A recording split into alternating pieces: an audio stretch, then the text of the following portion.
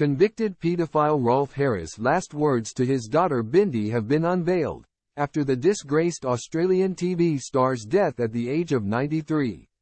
Rolf Harris told his only child Bindi to take care of her mother, just before the disgraced pedophile entertainer died from neck cancer and old age.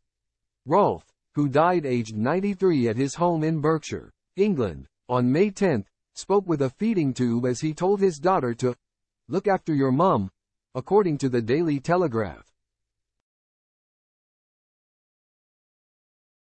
I always believed we would go on longer together but, if I go first, promise you'll take good care of your mum, Rolf said.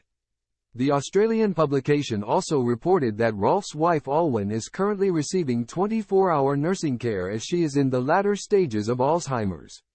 Before his death, Rolf had celebrated his 65th wedding anniversary with wife Alwen.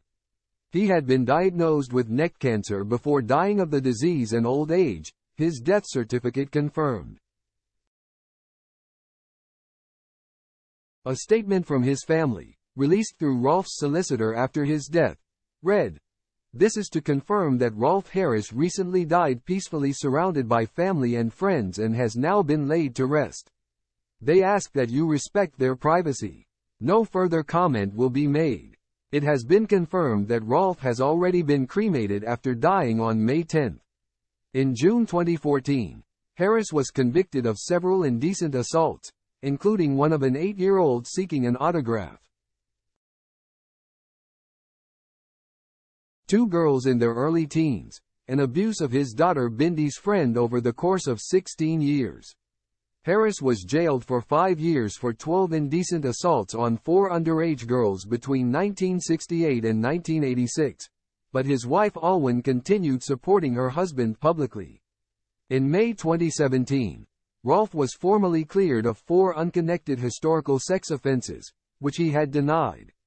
Later that same year, one of the 12 indecent assault convictions was overturned by the Court of Appeal. Harris was released on license from HMP Stafford on May 19, 2017, less than three years after his sentence began.